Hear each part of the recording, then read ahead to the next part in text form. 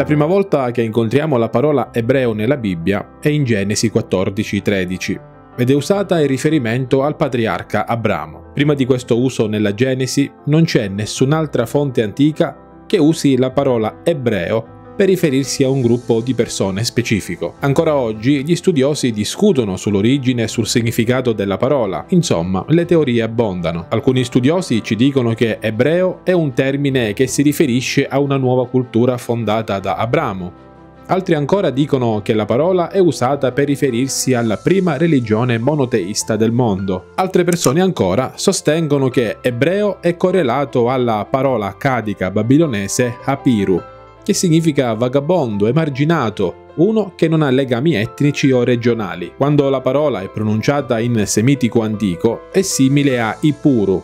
Ipuru era usato in Canaan e nelle aree circostanti come termine che significava semplicemente stranieri o vagabondi. In termini di studio dell'ebraico moderno, quasi tutti concordano sul fatto che ebreo significhi attraversare.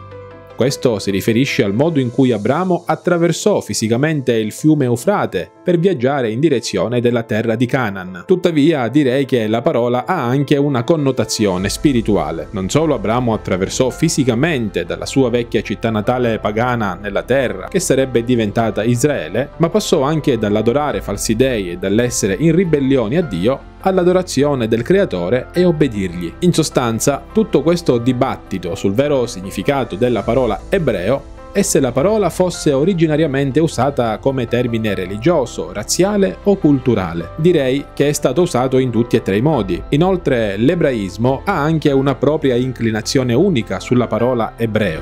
Il giudaismo vede la parola ebreo come un termine che si riferisce alla promessa del patto che Dio fece ad Abramo che poi ratificò lasciando la sua città natale in Mesopotamia e spostandosi a sud nella terra promessa. E sebbene, come già detto in un video dedicato, non sia corretto chiamare Abramo il primo giudeo, è corretto affermare al 100% che la linea ebraica iniziò con Abramo, che passò il testimone a Isacco, che poi lo passò a sua volta a Giacobbe.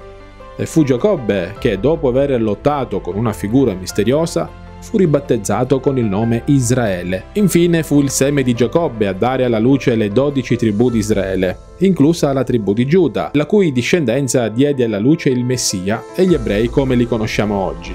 Quindi capiamo che l'applicazione della parola ebreo inizia con Abramo e prosegue attraverso Isacco e Giacobbe, alle dodici tribù di Israele, alla tribù di Giuda da cui discendono gli ebrei moderni di oggi. E questo fu davvero un adempimento della profezia che attraverso Abramo il mondo intero sarebbe stato benedetto. Ma la scrittura dice anche che il vero giudeo davanti a Dio non è chi è circonciso nella carne ma non nel cuore, ma chi è circonciso anche solo nel cuore.